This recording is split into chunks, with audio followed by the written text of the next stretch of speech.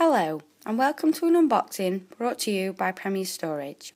Today, we will be unboxing the Levante 2 kilowatt convector heater which is fitted with a thermostat. Firstly, we will go through what's inside.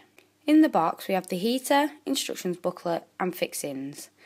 This heater can either be floor standing or mounted to the wall.